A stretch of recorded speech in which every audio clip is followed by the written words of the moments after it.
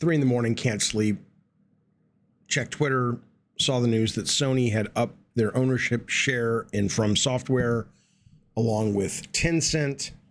Uh, at a lay level, it sounds like Sony and From Software, who still has the majority ownership, can outvote Tencent. Tencent and Sony could outvote From, I think, but certainly From and Tencent could outvote Sony. So it's it's a very strange little dynamic. Uh, they said they're doing it because they want more capital to expand, you know, to make more games and expand the franchises they have. Uh, I believe they own the intellectual property to Elden Ring. I don't think that's Bandai's. I could be wrong because I think it was published by multiple publishers depending on the territories. Um, so, and I know they have big plans for Elden Ring. So, I, I there's two things I I, I just want to come to mind that I'm curious about.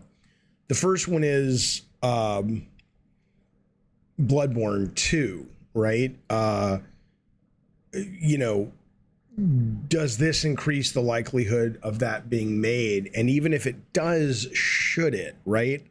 I loved Bloodborne. Elden Ring's probably my favorite game of all time, or very close. Uh, but Bloodborne has stuff in it I think that's better than Elden Ring. I adored Bloodborne.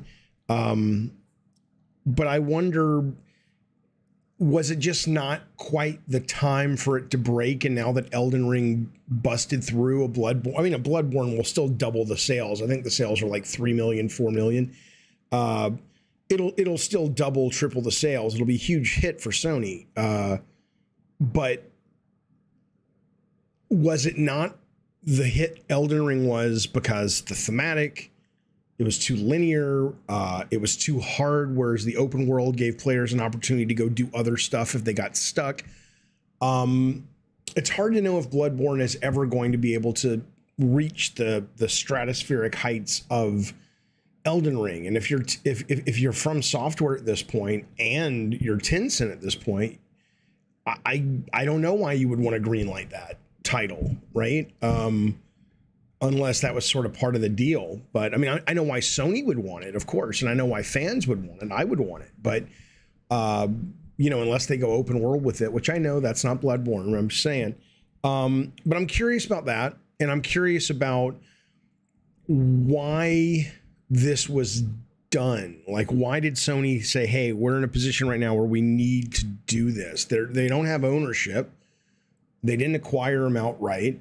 Um, it's not even a 50-50 partnership in terms of decisions. They still got to deal with Tencent. Um, the only thing I can think of is they did it because they don't want to see Elden Ring 2 or now that From Software has really gone massively mainstream and will probably have the number one, if not the number two best selling game of the year. They don't want to get shut out. And they're like, you know what? Let we already own a percentage, X percentage. I don't know what they had before. Let let's kick it up. I think now they're at like 14 or 15 percent.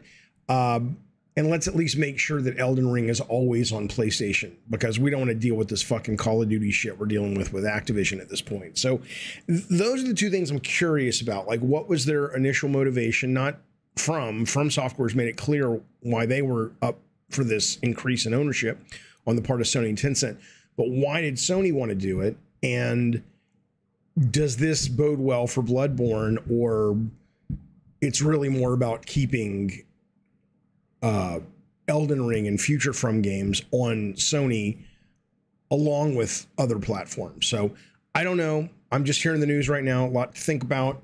Uh, it may not result in a noticeable difference, but it might. But it's interesting for sure. And then on top of it, we saw Quantic Dream just got purchased uh, by NetEase, which is a Chinese company. So, you know, um, everybody's getting bought up. Everybody's getting bought up. Consolidation, baby. This is uh it's the dance that gets danced. All right, be well. See you soon. Bye.